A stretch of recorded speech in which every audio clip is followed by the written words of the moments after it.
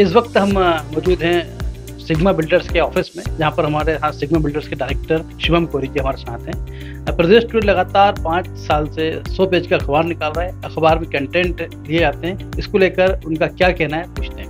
जी। पाँच साल से लगातार प्रदेश में सौ पेज का अखबार हम्म। क्या है जी बहुत बढ़िया कर रहा है और आगे भी ऐसे ही होना चाहिए। देखिए अखबार के अंदर मैक्सिमम लगभग ये मान के चलिए कि वैसे तो न्यूज़ बोलते हैं तो ऑल ओवर चीज़ें कवर अप होनी चाहिए।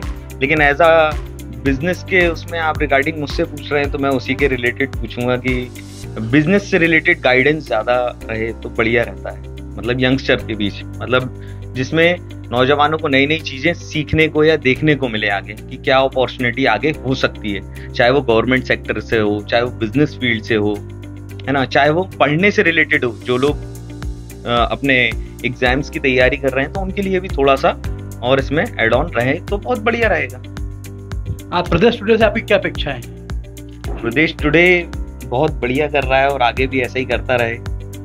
यही है अपेक्षा बस अभी हाँ शिवम कोरी जी का कहना है कि खास करके अखबार के अंदर सभी मटेरियल शामिल किया जाता है लेकिन युवाओं के लिए खास करके ऐसी चीज़ें शामिल की जाए जिनसे कि युवा पढ़ के सीख सके आगे बढ़ सके। प्रदेश टुडे के लिए निर्देश धारवाड़